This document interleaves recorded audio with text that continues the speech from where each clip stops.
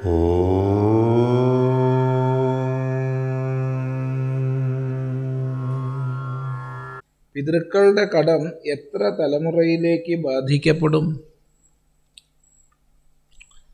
പിതൃക്കളുടെ കടം നമ്മൾ എത്ര തലമുറയിലേക്ക് ബാധിക്കപ്പെടും എന്നൊക്കെ ചോദിച്ചാൽ വലിയ ചോദ്യമാണ്. പൊതുവെ ശാസ്ത്രങ്ങളിൽ ഏഴ് തലമുറ എന്ന് പറയും. ഏഴ് തലമുറ. എന്താ ഇപ്പം ഏഴ് തലമുറയുടെ കണക്ക് അതൊന്നും ചോദിച്ചേക്കരുത്. ഏഴ് തലമുറ എന്നാ പറയുക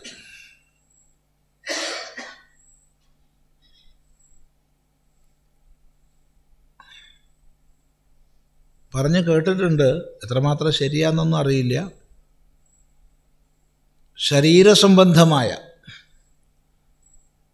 ശരീരസംബന്ധമായ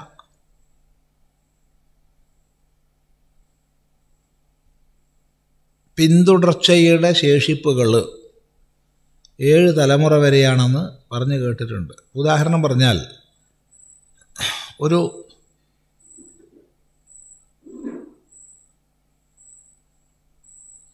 ഗീർ വർഗത്തിൽപ്പെട്ടൊരു പശു.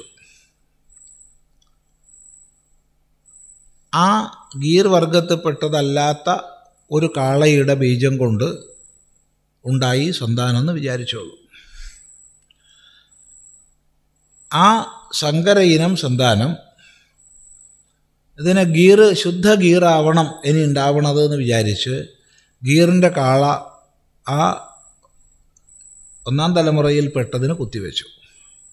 അഥവാ കാളയുമായി ഇണ ചേർത്തു അതിന്റെ കുട്ടി ശുദ്ധ ഗീറായിരിക്കില്ല.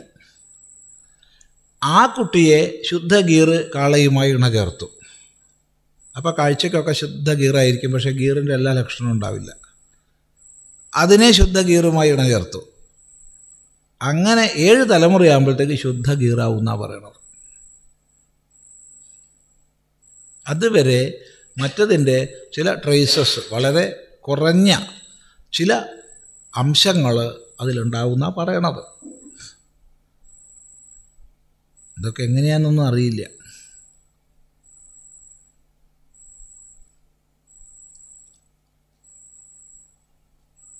ഗീർ ഉദാഹരണം പറഞ്ഞു ഇതുപോലെയൊക്കെ ആയിരിക്കും നമ്മളൊക്കെ തന്നെ. നമ്മളൊക്കെ ഒക്കെ ജനറ്റിക് കോഡ് നോക്കിയിട്ട് ഇന്ന വർഗത്തിൽപ്പെട്ടവരാണ് എന്നൊക്കെ ശാസ്ത്രജ്ഞന്മാർ പറയുന്നുണ്ടല്ലോ. അല്ലേ അതുണ്ട്. പൊതുവേ വനവാസികളിൽ ചില വിഭാഗങ്ങൾ ഒഴിച്ച് ബാക്കി എല്ലാവരും സങ്കര ഇനങ്ങളാണ് അതറിയാലോ?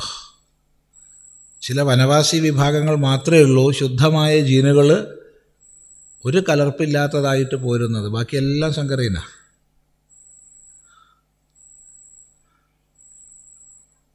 പറഞ്ഞ് മനസ്സിലായി വിചാരിക്കുക. ഏ? കേരളത്തിലുള്ള നായർ ഈഴവർ തീയർ നമ്പൂതിരി തുടങ്ങിയതൊക്കെ സങ്കരയിന ജനറ്റിക് പഠനങ്ങളുടെ അടിസ്ഥാനത്തിൽ ചില വനവാസി വിഭാഗങ്ങൾ ശുദ്ധത പുലർത്തുന്നു. അതായത് വേറൊരു വിഭാഗം ഇതില്ല എങ്ങനെയാണെന്ന് ചോദിച്ചാൽ അതിനെപ്പറ്റിയൊന്നും എനിക്കറിയില്ല. ചില ലേഖനങ്ങൾ വായിച്ചതിന്റെ അടിസ്ഥാനത്തിൽ മാത്രമാണ് പറയുന്നത്. ഏ? ജൂതന്മാർ ഏറ്റവും ശുദ്ധ വിഭാഗങ്ങളാണ്. പൊതുവെ പൊതുവെ ഇപ്പോൾ അതൊക്കെ കുറേ മാറ്റങ്ങൾക്ക് വിധേയമായിട്ടുണ്ട് വളരെ മാറ്റങ്ങൾക്ക് വിധേയമായിട്ടുണ്ട് ഇന്നിപ്പോൾ ധാരാളം സാങ്കര്യം വരുന്നുണ്ട് അതിൽ എങ്കിലും അവർ വംശശുദ്ധി ഏറെ പാലിച്ചവരാ. അതുപോലെ പാഴ്സികൾ അതുപോലെ ക്രിസ്ത്യൻ വിഭാഗത്തിൽ ജ്ഞാനായ വിഭാഗം. ജ്ഞാനായ ക്രിസ്ത്യാനികൾ അവർ അങ്ങേയറ്റം വംശശുദ്ധി പാലിക്കുന്നവരാ. പക്ഷേ അതിന്റെ ദോഷം വളരെയധികം ഉണ്ട് താനും. കാരണം ജനതി ജനറ്റിക്കായിട്ടുള്ള രോഗങ്ങൾ വളരെ കൂടുതലാണ് അവർക്ക്. കാരണമൊക്കെ ബന്ധുക്കൾ തമ്മിലാണ് വിവാഹം. അടുത്ത രക്തബന്ധമുള്ളവർ തന്നെയാണ് വിവാഹം. അതുകൊണ്ട് ഒരുപാട് പ്രശ്നങ്ങളുണ്ട്.